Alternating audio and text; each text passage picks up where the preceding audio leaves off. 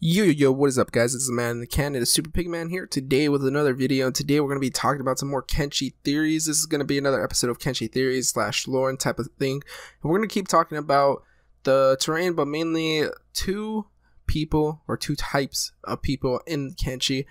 And before I start, I just want to say sorry on the late upload. I know I upload like every three days. It's just I've been kind of busy. I had an exam today, and then I have a huge speech due tomorrow. So you know we're kind of getting in that midpoint of the year where everything's kind of getting pretty hectic. I promise I'll start uploading a little bit more as the month goes on and stuff like that. And I know in December it's going to be pretty tough, but you know, let's just let's just start this video instead of just rambling on. I swear it's always like the first 30 seconds I have an apology for you guys because I love you guys so much.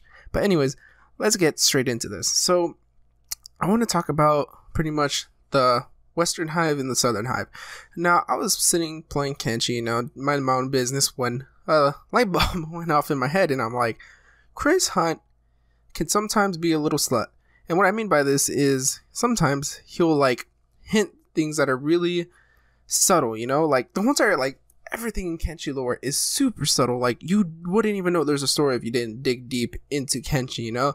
It's not really on the surface scratchable other than what the skeletons say and what some people say, you know, that's like more like, oh, it's, you know, it's a kind of rumor, but it's not really like looked upon as um something you would say or you know do anything like that.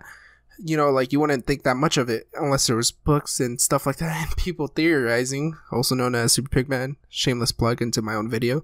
Anyways, I want to talk about how everything in Kenshi is kind of hidden and subtle but we still found a way to extract lore, extract lore, extract lore. So I want to talk about pretty much why the there could be more than just one other continent out there. Because we do know for a fact that there's probably one other continent other than the one that we're playing on, unless you're one of those people that believe Hive were genetically modified and engineered from human beings. And I, I support that theory too, but this is a pretty plausible one because when I think about it, why would the southern hive come from the west and then migrate south, you know? There's a port down south, or not really like a port, but I mean like there's an easy access down south, and I'm thinking maybe the western hive come from a western continent and the southern hive come from a southern continent, and maybe they both resemble what that continent had and what it you know brought to them. We just still don't know why the hive even came here in the first place. It's really unknown why.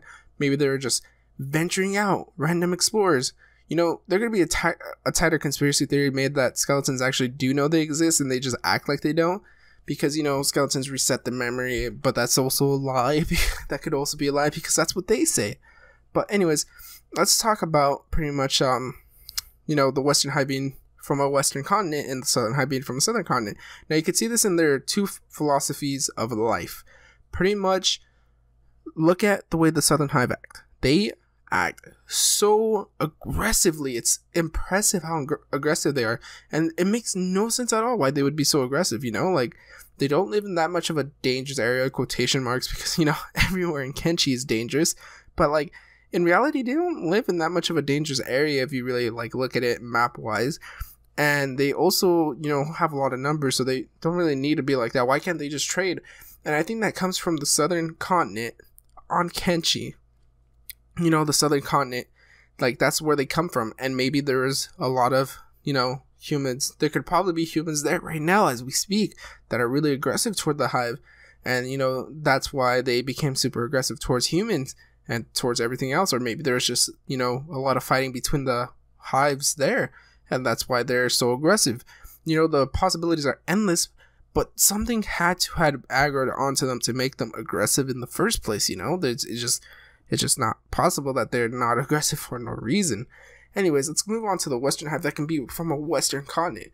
Now, the Western continent makes more sense of it being more stable, but we really don't know why the hive left there. And I think it's kind of hinted at in the north in the Fog Islands what happens to the hive when they get exiled. I think maybe they got overrun by exiled hives. And what I mean by this is when, you know, you kill a queen, the fog take over the area.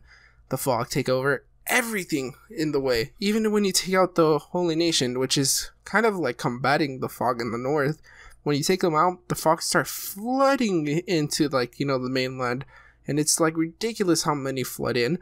But you know they just they just flood in. and I think that's what the Western are trying to embody is that they got overrun by you know fog, and that they're the last of their species, and they kind of just moved over here and they showed us what their culture is, which is just trading and ripping people off. So I think that's where they come from. The main point of this theory is that there are probably more than just you know one continent out there, and maybe just more than one landmass out there. Maybe there's multiple landmasses that we don't know about. Maybe there's a bunch of little islands that we don't know about because we do know that the Fog Islands could have just been like, you know, river islands on which they called the Fog Islands after the river receded and the fog took over from obedience, you know? And what I mean by fog is like the actual fog, not the, you know, not the I uh, like enemies. Anyways, hopefully you guys did enjoy. Remember leave a like, subscribe, do all that fun stuff. You know, we're out here theorizing and stuff, and it's really hard to make this video, so it would mean a lot to me if you could like the video. Also, we're on our way to 1,000 subs, or almost about a, we're like 70 away from 700, so pretty exciting stuff. Peace, guys.